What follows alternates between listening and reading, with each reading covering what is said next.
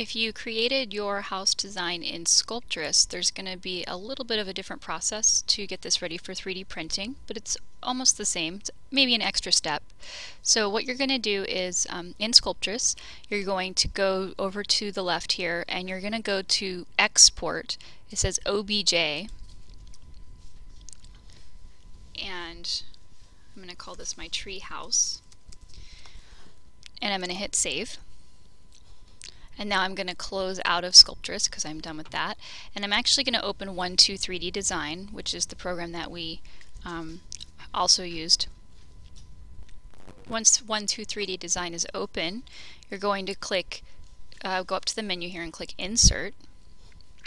And this is going to let you select your uh, OBJ file that you just exported. I'm going to click Browse My Computer and then Browse.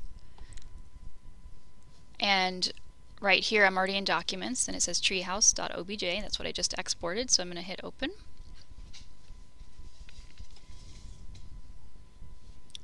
so um, right now the rotation is a little bit off on this so I'm just going to click on the object and then go to move and I can actually rotate this to make it more upright which will make it be important when we do 3D printing. The final thing that I want to do in this program is actually give it a flat bottom. That's really important when you're 3D printing to have it really flat. So in order to do that, we're going to add a primitive box and I'm just going to drop it somewhere. It looks really enormous right now.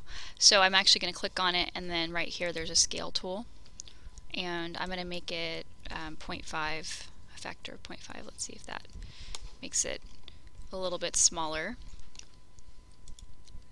also means that my tree is kind of um, kind of small, but that's okay. So what I'm going to do is um, move this block down and all I'm going to do is use this to make a flat bottom for my tree. So I'm going to move this and you can look at it from different viewpoints to see 3D space is weird because sometimes it looks like it's in one direction it looks like it's there and the other direction it doesn't. So I'm going to rotate it a few times and you can see I'm finally getting into position here. And then I'm going to move it up, and I wanted to just just go just a little bit over the bottom of the bottom of the tree right there. And you can see even still from this viewpoint, it's not quite um, not quite in the right place. So I'm going to go up a little bit more and just over. So it's going to just cut off just a slight bit of the bottom. It's just sticking in a little bit. So what I'm going to do now is I'm going to go up to the combine tool next to the T to the left of the T and I'm going to go to subtract. And then it says target solid mesh. That means that that's the thing I want remaining after I subtract. So I want the tree to be remaining. And then the thing that I'm using to cut the tree is the box. So I'm going to click that. And finally I'm going to go back up to combine and click subtract and it may give you a warning. If it gives you this warning, try hitting OK and uh, giving it a shot and seeing what happens. It may take some processing time. It could easily also just make 123D Design quit. So let's uh, wait a moment and see. Okay, after a little bit of waiting, it actually did cut the bottom, so now the bottom is nice and flat. So what I'm going to do now is I'm going to go to 3D print It's going to open a tool called Mesh Mixer. Okay, so once this file is open in one two, I'm sorry, in Mesh Mixer, um, it's gonna sometimes it appears really tiny. I wouldn't worry about the size right now. Just notice that it says model repaired. This program just fixes the model so it'll print better, and then you're going to click send to MakerWare. Okay, So now once you're in um, MakerBot software, it's going to look like kind of like the 3D printer um, box that we have. Um, and what we need to do is just a couple things. We need to make sure that the the um, object is rotated correctly. Right now it's so tiny that I'm going to actually scale it up first. So I have to, in order to scale it up, I have to click on it. Um, so it's yellow, and then I'm going to click scale. I'm going to click it twice, and then one of the things, um, we're going to make the, the largest size 50 millimeters. So in this case, the largest size is the Y. So I'm going to type in 50 here, and it's going to update the other dimensions. See, notice it's 35 and 33 now. So I can see that this is not rotated correctly, so what I'm going to do is click on the turn button now, and I'm going to try flipping this There we go. And finally, I just want to do a move and I want to click on platform and center. And that's it. You're ready to create the 3D file. So you're going to go up to export print file.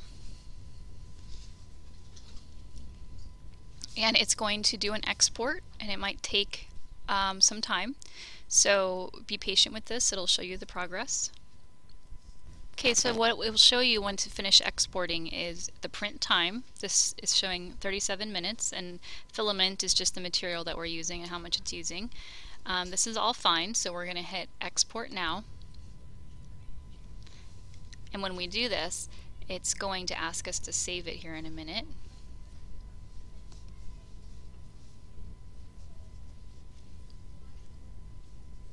So you're gonna, it might the screen might look like this um, when you open when you open it.